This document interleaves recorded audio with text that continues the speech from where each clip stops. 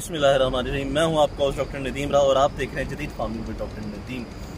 موسم برسات کا سماں ہے اور اگست کا مہینہ روا دوا ہے۔ ایسے موسم میں ٹیمپریچر کی شدت تو ہوتی ہوتی ہے، اس کے ساتھ آب و ہوا میں نمی کا جو تناسب ہے بہت زیادہ بڑھ جاتا ہے اور یہ جانوروں کے لیے بے حد نقصان دہ ہے۔ اس میں جانوروں کے آرگنیزمز جو ہوتے ہیں بیکٹیریل جو سیکنڈری بیکٹیریل انفیکشن ہیں، ان کے بڑے خدشات ہوتے ہیں۔ ہوتا یہ ہے کہ جانور جب بے چین ہوتا ہے تو اپر ریسپیریٹری جو ہے ٹریک میں موجود پاسچوریلا ملٹو سیڈا کو فیوریبل کنڈیشن مل جاتی ہے اور وہ ایکٹیو ہو جاتا ہے، جو کہ گل گھوٹو یعنی کہ ہیموریجک سپٹیسیمیا کا باعث بنتا ہے۔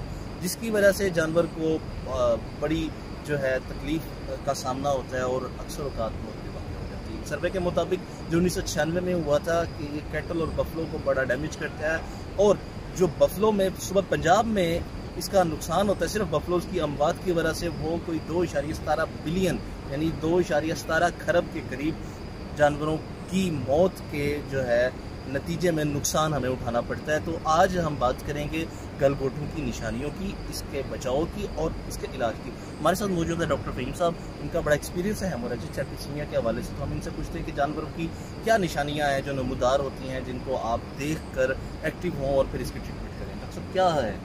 جو ڈاکٹر صاحب سب سے پہلے جب ایچ ایس کا اٹیک ہوتا ہے تو سب سے پہلے اینیمل کو تیز بخار ہوتا ہے۔ تیز بخار میں یہ ہوگا کہ ایک سو چار سے لے کے ایک سو چھ تک اینیمل کا ٹمپریچر جائے گا۔ اس کے علاوہ اس کے منہ سے رالیں ٹپکیں گی بہت زیادہ رالیں ٹپکیں گی اس کے ناک سے پانی بہے گا۔ اور یہ یہ جو ہے یہ جو اسٹیج ہوگی یہ پر اکیوٹ اسٹیج ہوگی۔ ٹھیک ہے؟ اس کے علاوہ اینیمل جو ہے وہ سانس لینے میں دشواری محسوس کرے گا۔ اگر ہم ایکیوٹ اسٹیج کی طرف کی طرف جائیں تو اس میں یہ ہوگا کہ اینیمل سویلنگ ہوگی ٹھیک ہے؟ فرنجل ریجن میں اس میں سویلنگ ہوگی اور وہ موو کرے گی برسکٹ ریجن کی طرف۔ یعنی جو ہے گلے گلے سے لے کے سینے تک وہ موو کرے گی۔ ٹھیک ہے۔ اور اگر ہم ڈفرینشیل ڈائگنوسس کے لحاظ سے دیکھیں اگر پر ایکیوٹ فارم میں ہوگا تو اینیمل کی ایک دن کے اندر اندر ڈیتھ ہو جائے گی۔ اینیمل کی موت واقع ہو جائے گی آٹھ سے چوبیس گھنٹوں کے اندر۔ اور اگر ہم ایکیوٹ اسٹیج کی بات کریں تو اس میں تین سے پانچ دن کے دوران اینیمل کی اگر اس کو پراپرلی ٹریٹ نہ کیا جائے جی ڈاکٹر صاحب تو یہ آپ نے نشانیاں دیکھی ہیں۔ جی مین سیپٹمس ہیں مین نشانیاں میں کچھ ایڈ کرنا چاہوں گا۔ بیسیکلی ہیموریجک سیپٹیسیمیا کی چار ٹائپس ہوتی ہیں۔ ایک جو میں نے آبزرو کی ہیں۔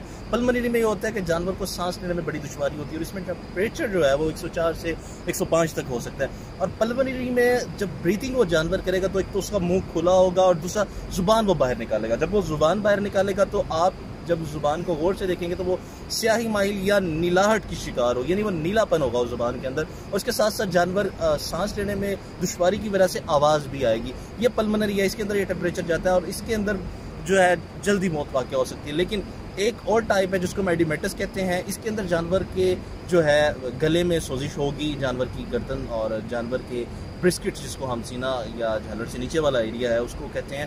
اس میں سوزش نمایاں ہوگی، اس میں ٹیمپریچر بھی جانور کا زیادہ ہوگا اور یہ ٹیمپریچر ایک سو پانچ سے ایک سو سات تک جا سکتا ہے، ڈاکٹر صاحب۔ اور اس کے ساتھ جو بڑا مسئلہ ہے، وہ ایک اور ہے کہ کبھی کبھار ایلیمنٹری جو ہے ٹائپ کی ہیپنوریجک سیپٹیسیمیا ہو جاتی ہے۔ اس میں جانور کو ڈائریا آ جاتا ہے۔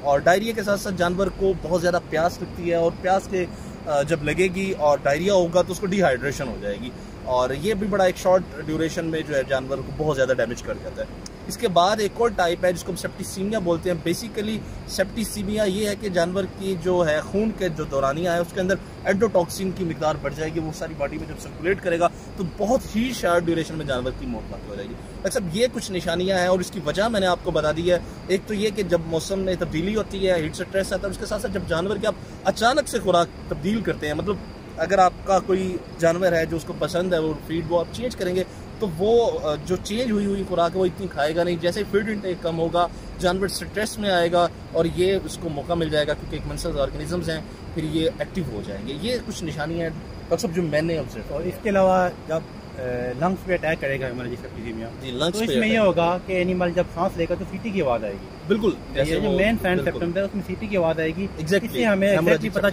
چل جانا چاہیے کہ اس کو ایچ ایس ہے۔ بالکل ڈاکٹر صاحب نے بڑی اہم پوائنٹ کو یہاں پہ ریز کیا ہے۔ کہ آواز آئے گی سانس لینے میں دشواری کے ساتھ ساتھ اس جانور کو آواز آئے گی جانور کی سانس لینے میں۔ اگر ڈاکٹر صاحب اس کی ٹریٹمنٹ کی بات کریں تو کس کا زیادہ اچھا رزلٹ آپ نے دیکھا ہے؟ ڈاکٹر صاحب جو دی بیسٹ جی جی بیسٹ ٹریٹمنٹ جو بیسٹ ڈرگ آف چوائس ہے۔ اس میں کیا ہے؟ اس میں یہ ہے کہ اس میں سلفا ڈیمانڈین جو ہے یہ سب سے بیسٹ ٹھیک ہے۔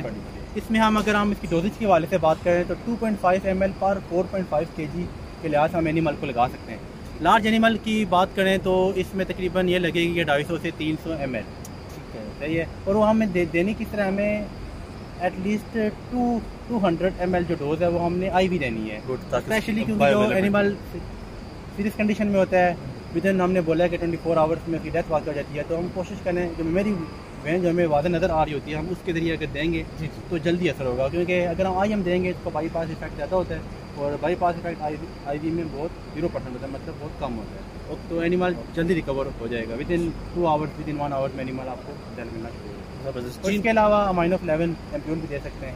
اور ساتھ میں کیٹو بھی لگا سکتے ہیں ٹوئنٹی سی سی تو اینیمل ان شاء اللہ ہمارا ریکور ہو جائے گا۔ جی ڈاکٹر صاحب نے بڑا زبردست جو ہے ٹریٹمنٹ بتایا اور ریپیٹ کرنے کی ضرورت نہیں ہے۔ سلفر ڈیماڈین یا کوئی بھی ایسی اینٹی بایوٹک یا تو نہیں کہیں گے کیونکہ باقی جو اینٹی بایوٹکس ہیں ان کا کم رزلٹ ہے، لیکن بیکٹیریوسٹیٹک اینٹی بایوٹکس ہمیں استعمال کرنی ہے۔